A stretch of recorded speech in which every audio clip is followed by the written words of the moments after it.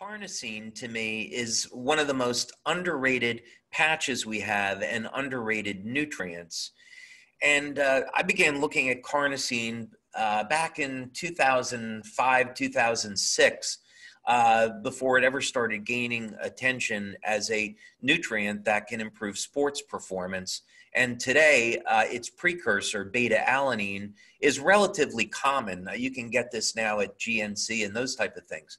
Uh, but back in the day, um, one of the uh, benefits of carnosine was that it was increasing lifespan in uh, animal testing, like in mice and rats, by 30 to 40 percent.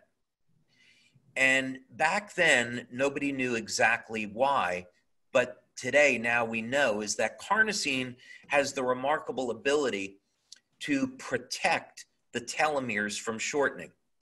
So, long story short, telomeres control the number of times the cells will divide, and we elevate carnosine and it slows down that process. So, if it translates the same way, you know, as human beings here, just by on a daily basis elevating carnosine, we can potentially increase our lifespan 30 to 40 percent.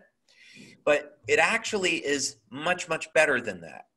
And the reason is that uh, we began looking at okay, well, uh, increasing you know the lifespan up to 130 140 years might be too much for people to wrap their arms around. What benefits can we get today? Well carnosine is stored in the brain the heart and the muscle.